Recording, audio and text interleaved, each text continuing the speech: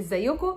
آه، ده فيديو رقم 10 أنا هشارك معاكم فيه بكلام من بق عالم وطبيب آه، وباحث عن أهمية القراءة للأطفال منذ الولادة ودورها على نمو مخهم.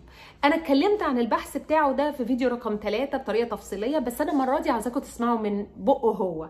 آه، فأنا ترجمت فيديو هو مجرد 3 دقائق وعاوزاكم تشوفوا إزاي هو بيتكلم عن أهم قد إيه الطفل مخه بينمو في أول سنين عمره؟ ودور القراءة في ده ودور إن الواحد لما بيقرأ إزاي بيدي الطفل كلمات ومفردات أكتر يعبر بيها عن نفسه وإزاي بيتكلم إن ده بيأثر بعدين على نجاح الطفل. وأهم حاجة دور الأهل في المعادلة دي معادلة إن إحنا نقرأ ون... عشان ننمي مخ الطفل. يعني مش كافي إن أنا أحط طفلي حد يقرأ له على اليوتيوب أو على آه، ورشة حكي على الفيسبوك لأ. في دور للأهل والتفاعل اللي مع الأهل في القراءة آه، للطفل آه، وفي الآخر هو بيتكلم عن القراءة الاطفال آه، خمس سنين وأقل فإحنا مش بنتكلم في القراءة بتاعه المدرسة والمذاكرة فأنا أتمنى إن يعجبكم الفيديو وإنكم تشوفوا إن في معلومات مفيدة I'm Dr. John Hutton, a pediatrician and clinical research fellow at Cincinnati Children's Hospital Reading and Literacy Discovery Center. These Babies are born with approximately 100 billion neurons, which is about the most they'll ever have. And from there, their brains develop incredibly rapidly, um, doubling in size by about one year old, and then reaching about 85 to 90 percent of, of adult size by the time they're four to five years old.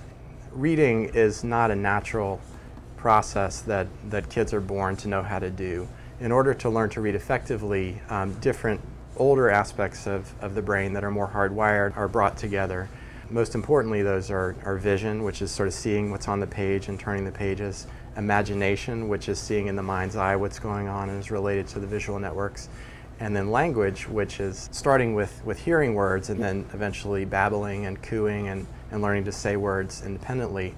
Those visual and language networks are then brought together to allow a child to see a word on a page, turn it into language in their mind, and then imagine what's going on and make sense of it.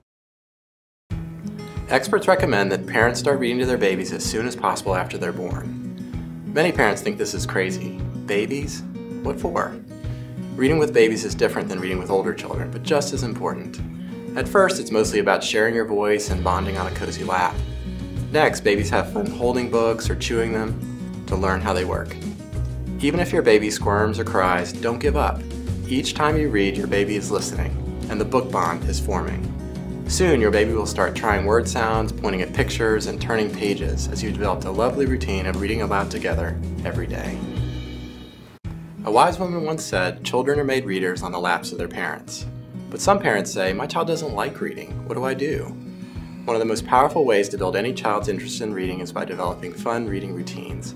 Whenever or wherever it is, at nap time, bedtime, by the bathtub, or the kitchen table, reading every day will let your child know that you love them. Letting them help adds to the fun, turning pages, asking questions, and choosing books about their favorite things. Your child will look forward to spending this special time together every day, and so will you. Did you know that by age 4, children whose parents talk with them often may have heard 30 million more words than those whose parents talk to them less? 30 million words. That's a lot. And the number of words a child knows at age 4 strongly predicts their health, happiness, and success in school and life. You can close the word gap and success gaps by reading aloud every day. 15 minutes. It's not that long. Less time than it takes to click 15 likes on social media. You won't regret the time spent bonding with your child over a book, building important skills and sharing words like health, success, and love. If reading aloud provides healthy and delicious nutrients to help your child's brain grow stronger, great books are only part of the recipe. You are the main ingredient. You provide the flavor. Parents are a child's first and most important teacher. They're chef. What you serve your child helps them feel loved, to learn, and to grow. You can make reading yummy and nutritious by serving it with flavor.